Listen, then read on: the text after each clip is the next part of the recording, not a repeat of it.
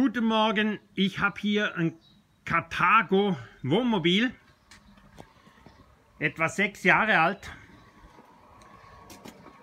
Und hier drin waren zwei Batterien Excite und zwar zweimal 80 Ampere, 12 Volt.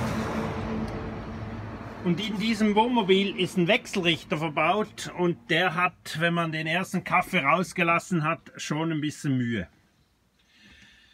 Die eine Batterie war hier unter diesem Sitz.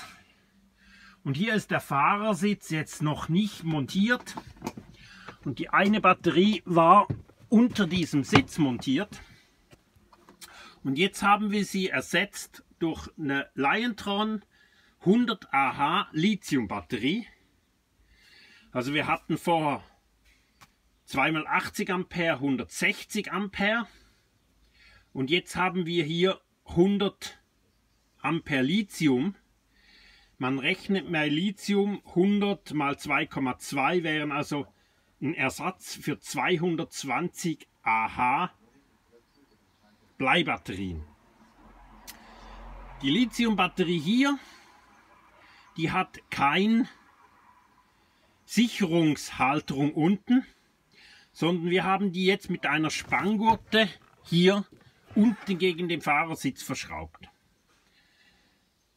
Die andere Alternative wäre hier eine Untersitzbatterie mit 200 Ah, aber die hat nicht Platz, weil vorne dran der blaue Kasten die Laderegler sind.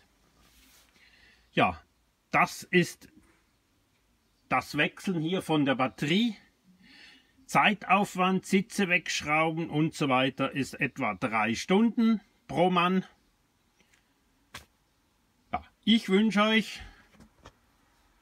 beim nächsten Video hier eine andere Batterie, die 100 Ampere und hier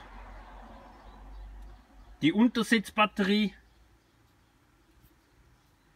Und dann könnt ihr mir wieder mal ein Abo dalassen. Ich wünsche euch einen schönen Tag.